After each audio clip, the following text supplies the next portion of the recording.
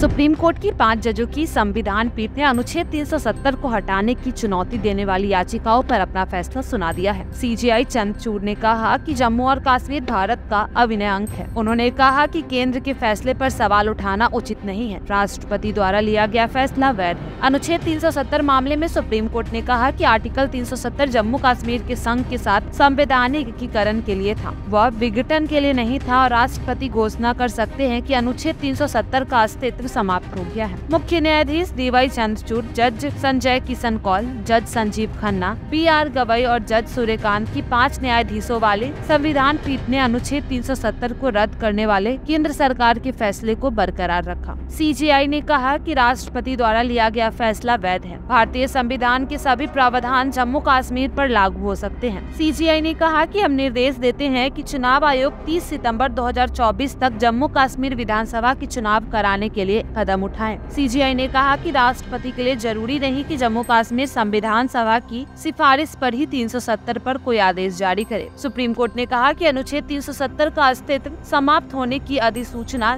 जारी करने की राष्ट्रपति की शक्ति जम्मू कश्मीर संविधान सभा के भंग होने के बाद भी बनी रहती है